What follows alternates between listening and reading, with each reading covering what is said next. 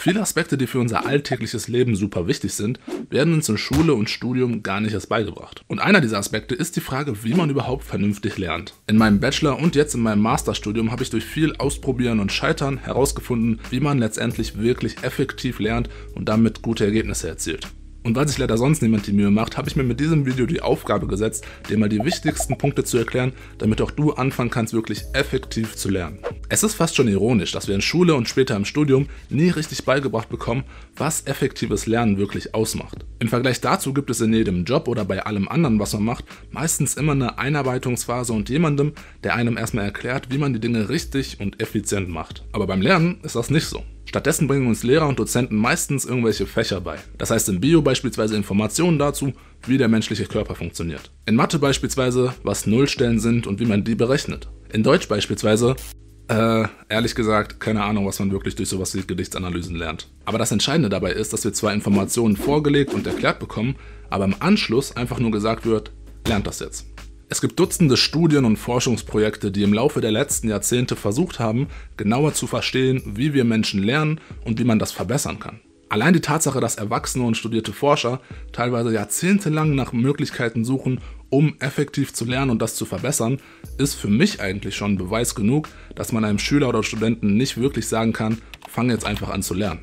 Das macht überhaupt keinen Sinn. Und ehrlich gesagt bin ich mir auch ziemlich sicher, dass das einer der zentralen Gründe ist, warum Videos zu Lernmethoden und Lerntipps auf so Plattformen wie hier auf YouTube so erfolgreich sind. Denn wenn wir die Antworten auf diese Fragen nicht in Schule und Studium bekommen, dann schauen wir uns halt nach anderen Möglichkeiten um, wo wir Antworten auf diese Fragen kriegen. Und genau deshalb ist Tipp Nummer 1, wenn dir sonst nicht beigebracht wird, wie du effektiv lernst, dann schau dir dazu Videos an, hör dir Podcasts an oder Hörbücher und finde damit selbst heraus, wie du effektiv lernst. Eine Möglichkeit, um genau das zu tun und die ich selber regelmäßig nutze, ist der heutige Sponsor des Videos, nämlich Blinkist. Blinkist ist eine App, mit der du jederzeit und in nur 15 Minuten durch die Inhalte von über 5000 Sachbüchern immer mal kurz dein Wissen erweitern kannst. Das heißt, du kannst dir beispielsweise auf dem Weg zur Uni anhören, wie man effektiver lernt und es dann direkt umsetzen. Zwei Titel, die ich dir dafür auf Blinkist empfehlen würde, sind einerseits Deep Work oder auf Deutsch konzentriert arbeiten und andererseits das Zettelkastenprinzip.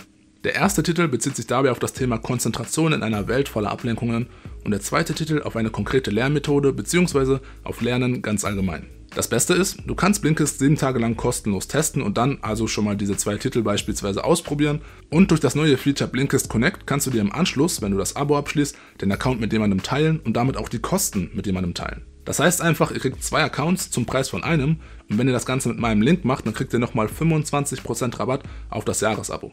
Also wenn das kein guter Deal ist, dann weiß ich auch nicht. Geh also gleich mal auf den Link in der Videobeschreibung oder in den Kommentaren, guck dir das Ganze an, wie gesagt, 7 Tage kostenlos, im Anschluss noch 25% Rabatt und du kannst das Ganze teilen. Glaub mir, das wird dein Lernen aufs nächste Level heben. Schauen wir uns als nächstes aber noch einen der größten Fehler beim Lernen an. Ein fundamental wichtiger Punkt, den ich in den letzten Jahren erst so richtig realisiert habe, ist, dass Lesen nicht gleich Lernen ist.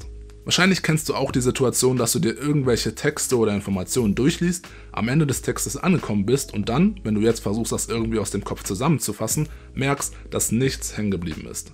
Teilweise ist es sogar so schlimm, dass wir wirklich alles, was wir gerade gelesen haben, direkt wieder vergessen. Genau diese Situation zeigt eigentlich schon, dass Lesen keine effektive Art und Weise ist, um Dinge wirklich zu lernen. Und das Entscheidende dabei ist, das gilt nicht nur für irgendwelche Bücher oder Texte, sondern das Problem mit dem Lesen gilt auch für deine Zusammenfassungen. Bei den meisten hat sich Lernen so etabliert, dass man Lerninhalte durchgeht, zusammenfasst und dann mehrfach durchliest. Denn das ist eine Lehrmethode, bei der man das Gefühl hat, dass man sich schon relativ intensiv mit den Inhalten auseinandersetzt. Aber leider ist es eben nicht so. Den Grund dafür erkennen wir, wenn wir mal kurz darüber nachdenken, was unser Gehirn denn zu tun hat, wenn wir irgendwelche Sachen lesen. Bei so Lernformen wie dem Lesen von Zusammenfassungen ist die einzige echte Aufgabe, die unser Gehirn dabei hat, die Augen über die Zusammenfassung gleiten zu lassen. Selbst wenn wir die Zusammenfassung lesen und dabei versuchen, das Ganze in unserem Kopf zu wiederholen und uns einzuprägen, ist das Einzige, was wir dabei wirklich machen, diese einzelnen Wörter einfach in unseren Kopf zu kopieren. Wir verstehen es also nicht wirklich und merken uns einfach nur die Zeichen, die da auf dem Blatt Papier stehen. Und genau deshalb wird sowas wie Lesen oft als zu passive Lernmethode beschrieben. Okay, ich muss aber fairerweise auch dazu sagen, dass es oftmals tatsächlich reicht, wenn man so lernt, denn in Schule und Studium ist es manchmal wirklich nur gefordert, dass man irgendwelche Informationen von Blatt A auf Blatt B, also die Klausur, kopiert. Andererseits reicht es in vielen Fächern auch nicht, weil man oftmals auch Sachen erklären muss oder Informationen verknüpfen muss, weil man Sachen vielleicht auch logisch erschließen muss. Und das geht nur, wenn man die Sachen wirklich richtig gelernt hat. Allein die Erkenntnis, dass Lesen grundsätzlich eine zu passive Lernmethode ist, verändert eigentlich schon alles für uns. Denn für die meisten ist das bis zu dem Zeitpunkt die zentrale Methode, um neue Sachen zu lernen. Wenn das also wegfällt, stellt sich natürlich die Frage, wie sollen wir stattdessen lernen? Ein mittlerweile relativ bekanntes und effektiveres Lernkonzept ist das Konzept des Active Recall. Wie der Name nämlich schon sagt, geht es dabei genau darum, aktiv zu werden. Nicht mehr nur so oberflächlich oder passiv Sachen zu lernen, sondern aktiv darüber nachzudenken, die richtig einzuprägen und zu verstehen und im Anschluss in Prüfungssituationen problemlos erklären zu können. Das einzige Problem ist, Active Recall ist mehr so eine Art Konzept und keine ganz konkrete Lernmethode. Grundsätzlich geht es erstmal nur darum, dass man sich aktiv mit den Lerninhalten auseinandersetzt und damit einen deutlich besseren Lerneffekt erzielt. Wie man das genau macht, ist dann wiederum jedem selbst überlassen und genau das macht es wieder ein bisschen schwierig. Mein persönlicher Ansatz, um mit Active Recall zu lernen, ist allerdings relativ einfach und wiederum sehr effektiv. Deshalb habe ich dir das Video dazu direkt am Ende dieses Videos verlinkt dann kannst du dir das auch nochmal im Detail anschauen und dann direkt umsetzen. Bevor wir damit aber weitermachen, gibt es noch ein, zwei Punkte, die ich dir unbedingt auch noch mitgeben wollte, weil die bestimmen, ob das letztendlich bei dir funktioniert oder nicht. Was in den meisten Schulen und Unis meiner Meinung nach immer noch viel zu kurz gehalten wird, ist das Thema Konzentration. Beziehungsweise kann ich mich ehrlich gesagt gar nicht daran erinnern, dass mir irgendwann mal irgendjemand irgendwas über Konzentration beigebracht hat.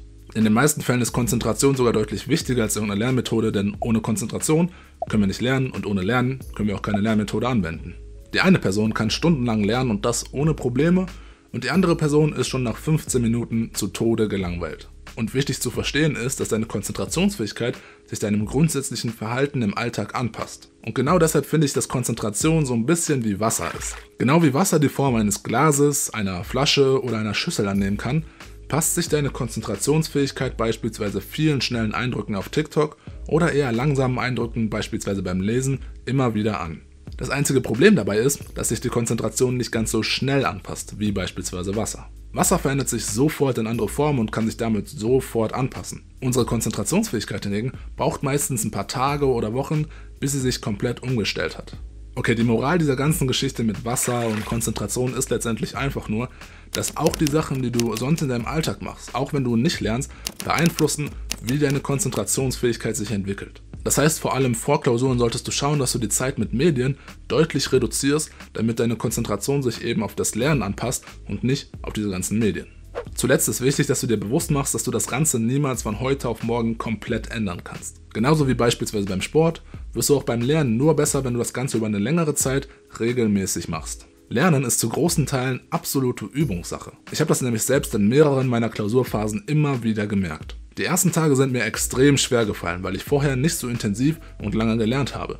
Aber nach ein paar Tagen oder nach der ersten Woche habe ich dann plötzlich gemerkt, dass ich oft problemlos mehrere Stunden am Stück lernen konnte und das ohne es wirklich zu registrieren. An einem gewissen Punkt passiert es nämlich einfach, dass sich unser Körper und unser Verstand an das Thema Lernen gewöhnen und es ab dann kaum noch ein Problem ist. Genau deshalb braucht nicht nur deine Konzentration eine Art Eingewöhnungsphase, sondern auch der Rest deines Körpers. Und diese Gewöhnung kriegst du nur, indem du es regelmäßig machst, auch wenn es manchmal schwerfällt. Wie versprochen findest du in diesem Video hier meine konkrete Active Recall Lernmethode, damit du ab jetzt wirklich effektiv lernen kannst. Freunde, ich wünsche euch wie immer einen Hammertag, macht das Beste draus und wir sehen uns im nächsten Video. Macht's gut.